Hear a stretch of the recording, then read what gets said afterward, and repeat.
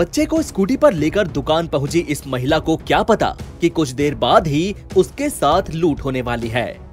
जैसे ही ये महिला दुकान पर आती है, चेहरा कवर किया हुआ ये बदमाश भी दुकान पर आ जाता है। सामान खरीदने के लिए पैसे देता है, लेकिन खरीदारी तो एक बहाना है। इस बदमाश की नज़र तो महिला पर है। दुकानदार और महिला को तो यही लगता है कि ये आम ग्राहक है। जो सामान खरीदने आया है।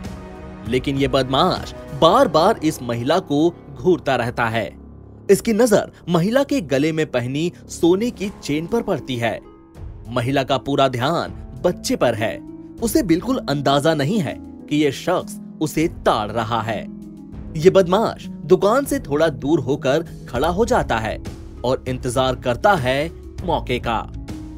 थोड़ी देर बाद सिगरेट निकालता है। और दुकानदार से लाइटर माँगता है।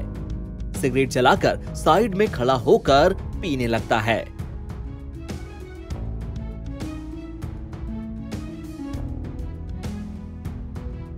इसके कुछ सेकंड बाद ही सही मौका देखकर ये महिला के गले से चेन खींचकर भाग जाता है।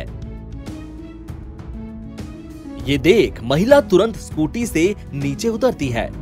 बच्चे को स्कूटी पर छोड़कर चोर के पीछे दौड़ने लगती है।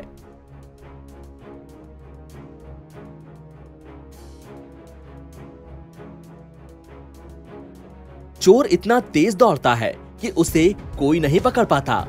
इस दौरान महिला की गलती ये रहती है कि वो अपने बच्चे को स्कूटी पर ही छोड़कर चोर के पीछे चली जाती है। गनीमत ये रही कि बच्चे के साथ कोई हादसा नहीं हुआ।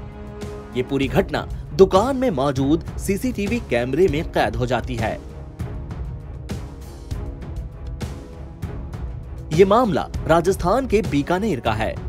यहाँ के भीड़ भाड़ वाले इलाके में दिन दहाड़े चेन स्नैचिंग की ये घटना हुई, जिसने बीकानेर पुलिस के लिए एक नया चैलेंज खड़ा कर दिया।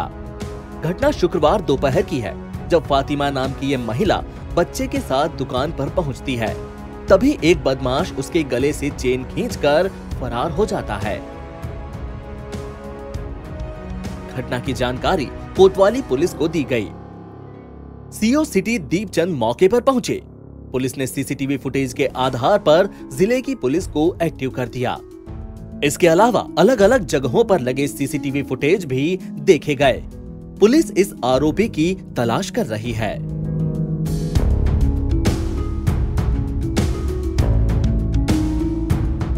एनबीटी ऑनलाइन की रिपोर्ट।